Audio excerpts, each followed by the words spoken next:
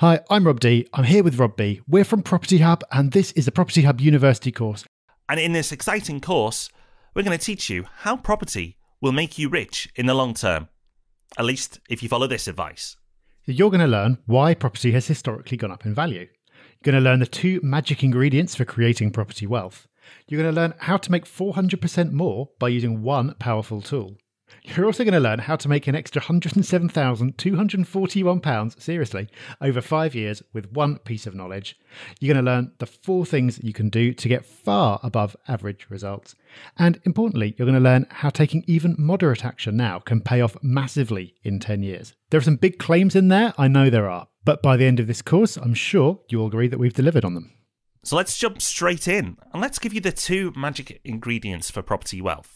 The first one is inflation and the second is leverage. Put those two together, and you've got the recipe for long term wealth creation before you even do anything clever. Yeah, you hear a lot of claims made about what you can do in property in the short term, and maybe you can, but property fundamentally is set up to allow you to achieve incredible things in the long term as a result of these two forces. So let's get into what each of those two things is, and then we'll put them together and show how they interact. So let's start with inflation. You'll have an idea of what inflation is, but the official definition is it's a persistent, substantial rise in the general level of prices related to an increase in the volume of money and resulting in the loss of value of currency. In other words, more money gets created, that money goes into the economy, and that devalues the currency, which has the effect of pushing the price of everything up. So, inflation is the reason why everyday goods seem to get more expensive over time. And this can really add up. So to buy something that would have cost you £100 in 1990 would cost you £237 today. Now, that doesn't mean that that product has got more expensive to produce or anything like that. That's purely because of inflation. Everything's gone up by that amount. Now, the government likes mild inflation. The government creates it and it does it on purpose because the opposite, which is deflation, is very damaging to the economy. For that reason, they aim to have inflation. They're not trying to keep prices stable. They aim to have inflation of 2% per year and they manipulate various variables to try to achieve that. Because if they tried to have zero, they could easily go the wrong way and have deflation, which would be very harmful. So instead, they aim for 2% a year. And as we've just seen, over time, that really adds up. And as well as trying to avoid deflation, there's another reason the government likes inflation as well, which we'll get to later in the course. But the thing you have to understand with inflation is it's here to stay. It's a fact of life Inflation will happen whether you like it or not. And here's the thing people are punished by inflation, but some are rewarded as well. Now, if you save, unfortunately, inflation will hurt you. Because if you are getting 2% savings return each year, which in this market isn't too bad, but inflation is running at 2%, well, you're not actually making anything.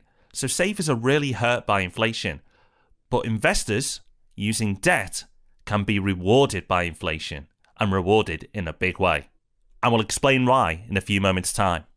So, we said that inflation is a fact of life, and here's the proof. You can see here the inflation rate over time, and you can see that it hasn't gone negative. So, there hasn't been deflation, that's prices getting lower, since the 1930s.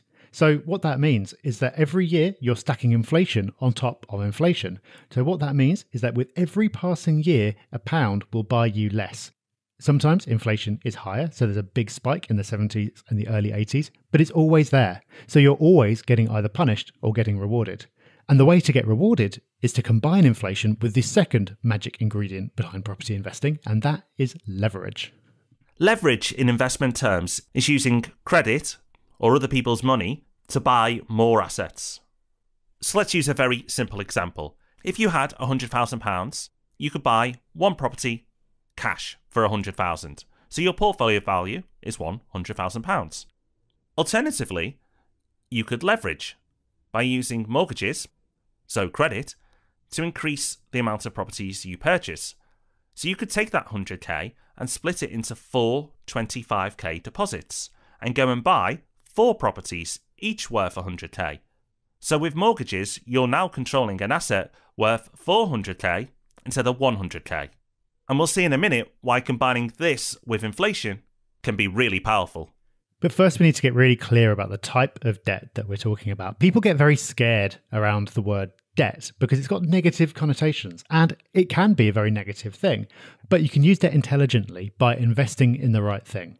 So, an intelligent use of debt involves investing in an asset that goes up at least as fast as inflation and ideally produces an income for you as well. So, using a mortgage to buy a property clearly meets these tests. Property, as we'll see later, tends to go up at least as fast as inflation, and it produces an income for you in the term of rent. So that's why we refer to a mortgage as good debt. But take an example of the opposite case. Say that you borrowed the same amount of money to buy a car instead. Well, that would be bad debt because the value of a car goes down in value over time and it produces no income. So after you've sold that asset, you'd make a loss and you wouldn't be able to pay your debt back. So, debt can be a very, very bad thing, but it can also, in the right context, be an extremely powerful thing. Very powerful indeed. The power of inflation and leverage working together can really transform your wealth. Let's look at how that could play out. So, using the same example as before, we could take 100k and buy one property cash. Or we could take that 100k and split it into four deposits and buy four properties, each worth 100k. Of course, we'll have mortgages on each of those properties. Now, at some point, the market will go up by 20%. We don't need to debate on when that will happen, but at some point, we know it will. So, when the market is up by 20%, your property you purchased with cash is now worth 120k. Fantastic. You've made 20k in capital gains. Well done. And let's not forget, you've earned some rental income along the way too. But if you'd leveraged and you've purchased four properties each worth 100k, then your four properties are now worth 120k each. In total, your portfolio has gained 80k in capital value, which is a staggering difference of 400%. So, by using leverage, you can really accelerate your wealth creation. And this is where it's really important to understand that debt is really your friend if you're a sensible investor, because you have taken out debt to have that increase that we've just talked about to get that 400% return. But what's really interesting is that you've taken out debt to accelerate that wealth creation, but at the same time, your debt in real terms is eroding away because of inflation. Whatever your debt level is today, your debt in real terms is eroding. So even if the number is the same number, what it's worth is a lot less. For example, 20 years ago, £30,000 probably got you a Porsche. Today, £30,000 gets you a Ford. It's the same amount of money, but today it's worth a lot less. And your debt in 20 years' time will be worth a lot less as well. So these two forces combined are working in your favour to create long term wealth that many other assets would struggle to compete with. Powerful stuff. And that's just inflation in general. Next, we're going to look at why property historically has risen faster than inflation. Click the link in the description to continue this course on the Property Hub website, where you can save progress, take a quiz for each module, and work towards your Property Hub University qualification, all for free. So, inflation as a force can either punish you as a saver or reward you as an investor. But property specifically tends to rise faster than the general rate of inflation. And now we're going to find out why that's the case. Now, remember, even if that's not the case, even if your property just increases in price along with inflation, you win. It's going to be making you money for you every month in the form of rent, and it's going to be going up in value while your debt stays static. But, like I said, historically that's not the case. Property tends to go up faster than the general rate of inflation. Take a look at this graph. This shows you real house prices, which is another way of saying inflation adjusted house prices. So, what it's showing you is what's happened to property prices since 1975 with inflation already taken into account. So, this is showing you how much property has grown in addition to general inflation. Now, you can see that prices don't always go up compared to inflation, sometimes they go down. And if you watch our course on the 18 year property cycle, you'll find out why that's the case and how to predict when that's going to happen. But if you take a long view and you look at the general trend, you'll find that even after taking inflation into account, property prices have not far off quadrupled since the late 1970s. So let's look at an example. The average house price in the year 2000 was £77,698. Yes, it's true, we are not making it up. Don't you wish we had a time machine? Today, the average is 215,000. Now, of that increase, 38%, 52,000, is due to general inflation.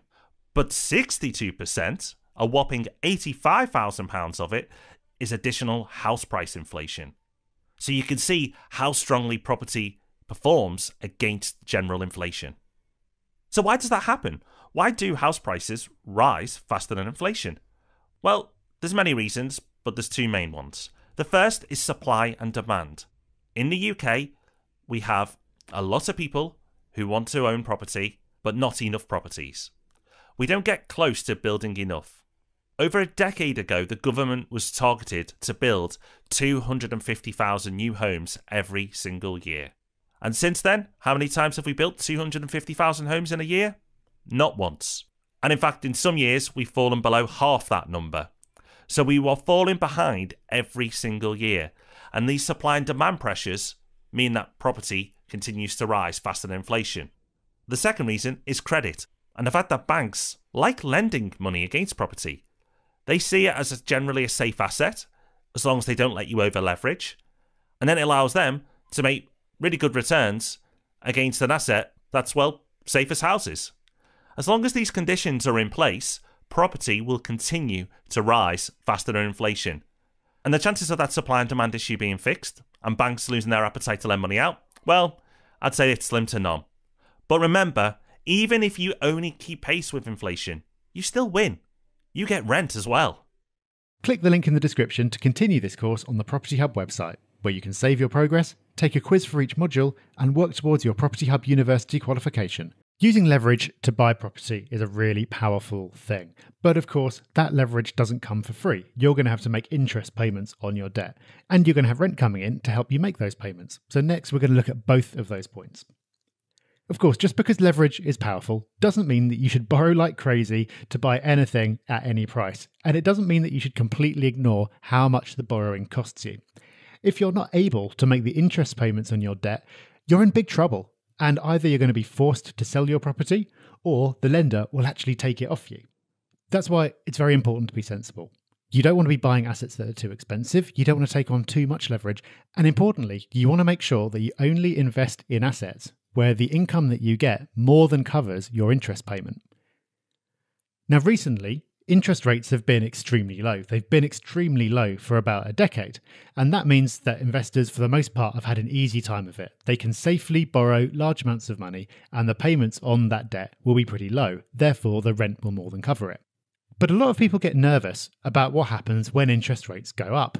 When the interest rate goes up, that means that your payments get more expensive. And if your payments get more expensive and they're higher than the rent, then you're going to be having to put in your own money just to make the payments to stop the house getting taken off you. Luckily, while it's always important to be sensible, there are some safeguards in place. Lenders are now more aware of this than they used to be, so they've recently been forced to put protection in place. So they will only let you borrow money against a property if the income from that property will cover the interest payments not only now, with interest payments being as they are today, but also if they go up in the future.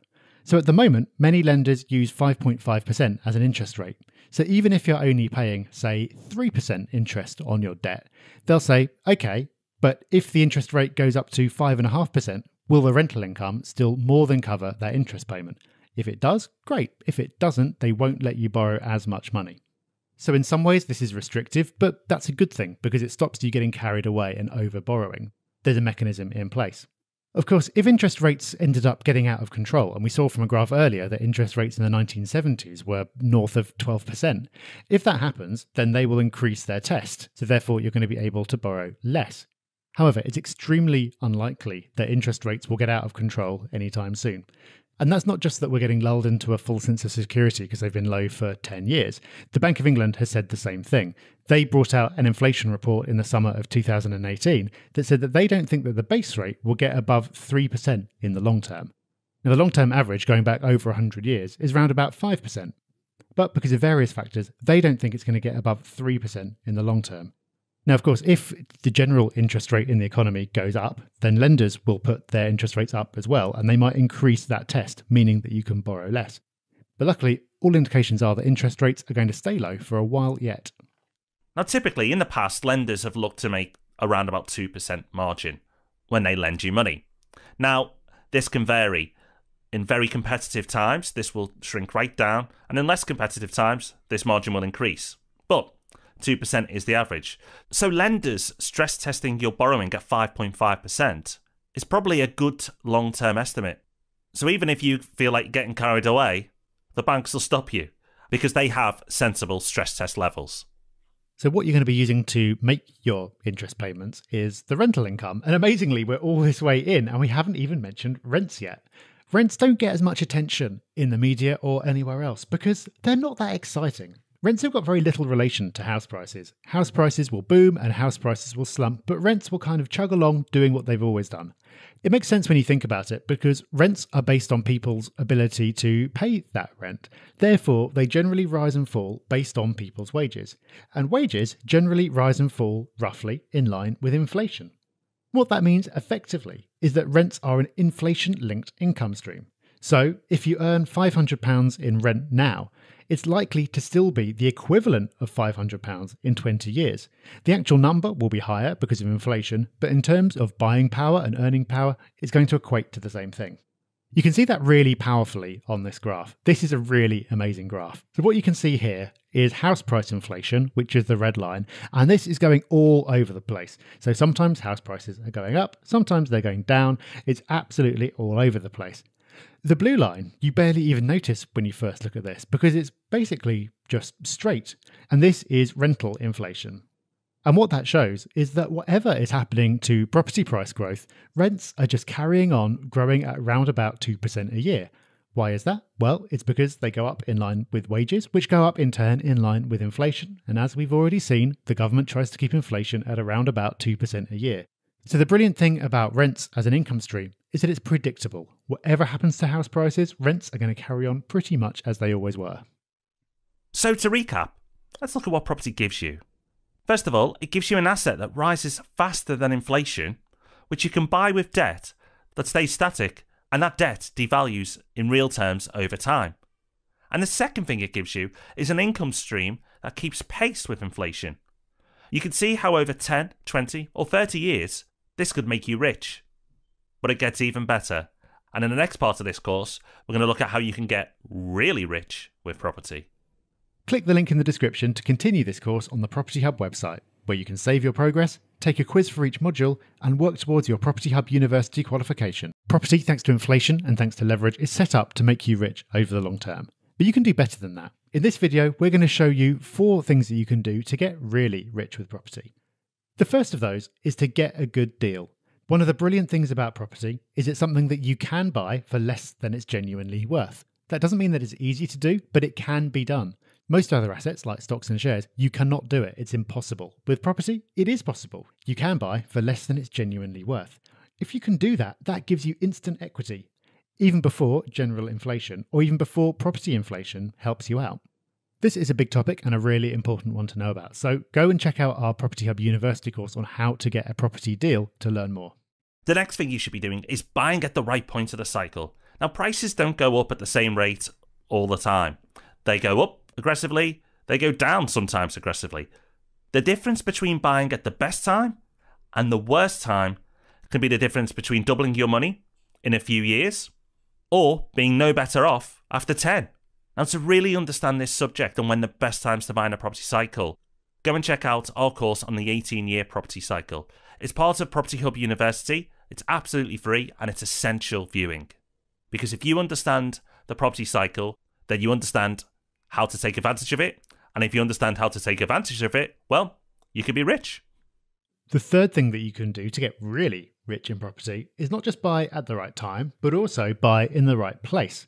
Here's a really important point. So far, the whole way through this course, we've only talked about averages. Everything that we've said has been an average. But as a smart, educated investor, you can do a lot better than average.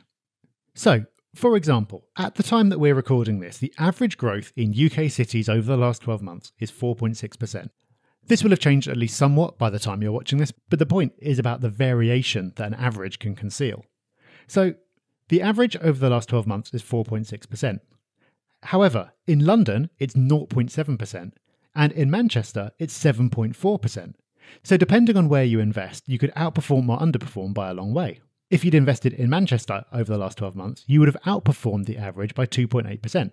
If you'd invested in London over the last 12 months, you would have underperformed by 3.9%. Now, again, that doesn't mean that you should definitely invest in Manchester now, or you definitely shouldn't invest in London now. It may have changed. But the point is, at any time, there's always a big range. There are some areas doing better than others. Now, over the long term, you tend to get something called reversion to the mean. So, over the long term, everything grows by roughly the same amount. The best area today will not be the best area in five or 10 years' time. But if you buy in the right place at the right time and you get just a few years of really strong growth, it can make a massive difference to your returns. So let's have a look how this could play out. You've got the average area versus the best area. So, if we purchased the property worth £250,000 and we purchased it in an average area, the growth on that property would be 4.6%. Now, to purchase that property, if we're putting 25% down, we'd need £62,500. After five years at that growth rate, our property is now worth £313,038. So fantastic. It's grown by £63,038. Or it's given us a return on investment, ROI, of 101%. Fantastic. Or is it? Because if we'd invested in the strongest area, which is currently seeing 7.4% annual growth, what would the difference be? Well, if we purchase for 250,000 again, we put down the same deposit, 62,500. After 5 years, our property would be worth 357,241 pounds, or a growth of over £100,000, 107,241. That's just in 5 years. That's an ROI of 171%. The difference in that ROI is an incredible 70%. So the difference between picking the best areas and just being average is vast. And that's why it's so important you target the best areas when you invest. Now, there's one more thing you can do, and that is combining leverage with more leverage by remortgaging to buy more. So far, we've just looked at using leverage once and then nothing else ever again. But if the amount of equity in your properties increases, either because you bought it at a discount, like we talked about, or because of property price inflation, that means you can then remortgage at that higher amount to release cash. Then you can put that cash back in to grow your portfolio. So let's look at a quick example of a single property. Then we can see how this would work if you apply it to your whole portfolio over time. So let's say that you managed to buy a property for £135,000 that's really worth £150,000. So you've got yourself a 10% discount by buying well. Then over time, you'd expect the value of that property to go up. So let's say that after three years, it's increased in value by 15%. So it's now worth £172,000. So you bought it for 135, it's now worth 172. What you can then do is remortgage to 75% of that 172,000, that new amount. By the time you've done that and you've repaid your original loan, you're going to have money left over. In fact, you're going to have £27,750 in cash left over. That's nearly enough for a deposit on a whole new property. So, just by buying well and having that property price inflation that we've talked about, you can then use leverage again to pretty much buy another property without having to put in any of your own money. So, that's just one simple example over a short period of time. When you apply the same principle to your whole portfolio over a long period of time, the difference is pretty amazing. It certainly is. So, let's take a look. So, first of all, let's start without remortgaging. So, we invest £80,000 today and we buy two properties worth £320,000 in total because we use mortgages. Now, let's say we never buy anything again, but we benefit from 5% capital growth each year. Now, after 10 years, your portfolio would be worth £547,000 with equity of £307,000. Very nice indeed. But what would happen if we remortgage during this time period? Well, let's say we invest that £80,000 again. We buy two properties worth 320,000. We never buy anything again, and we also benefit from 5% capital growth each and every year. And after 5 years, we remortgage using some of our available equity, the rental profit we've made, and no more of your own cash is needed. We're just going to use what's within our property portfolio. So, in total, this would be £66,000 in equity and £20,000 in rental income.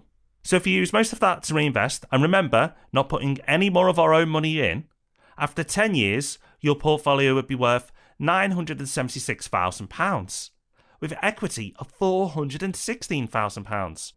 In these two scenarios, it's important to remember that you've both started off with 80,000. You haven't put any more of your own money in during this process. But the difference in equity that you make during this period is over £100,000. So the compounding advantage of remortgaging, again, is huge. What's incredible about what we've taught you in this course is that if you implemented just one of these strategies, then your wealth would be significantly increased. But by combining them all and putting them all together and following these principles as a way of investing, your wealth creation over time should be staggering. So let's wrap this up. Can you get rich from property in the short term, in a short amount of time? Well, yeah, you can, but you'll need a lot of cash to invest in order to do that, and it's going to take you a lot of effort and a little bit of luck as well.